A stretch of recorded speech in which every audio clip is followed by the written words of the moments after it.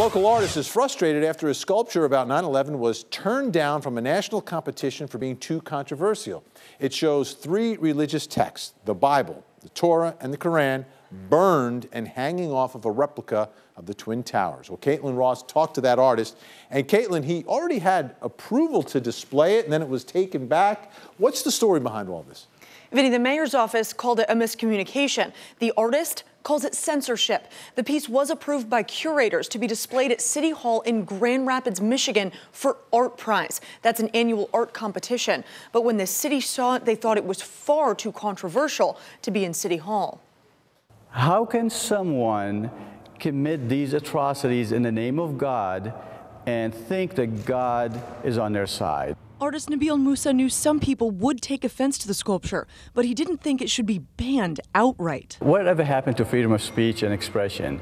Art is supposed to be a way for us to be able to express ourselves and be able to do it without, without judgment, without any kind of uh, censorship. He thinks people should have a chance to look at the sculpture and decide what they think for themselves. Before you make judgment, go look at it. You know, study the piece.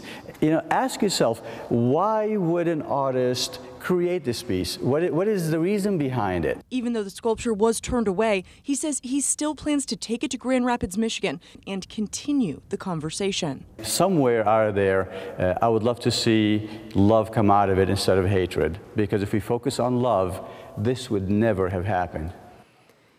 Nabil called me late last night to say he thought he'd found another venue to display the piece in Grand Rapids, but the city stepped in again and would not allow it on city property. So he is on his way to Grand Rapids this morning and says he plans to find somewhere else to show the piece during the competition.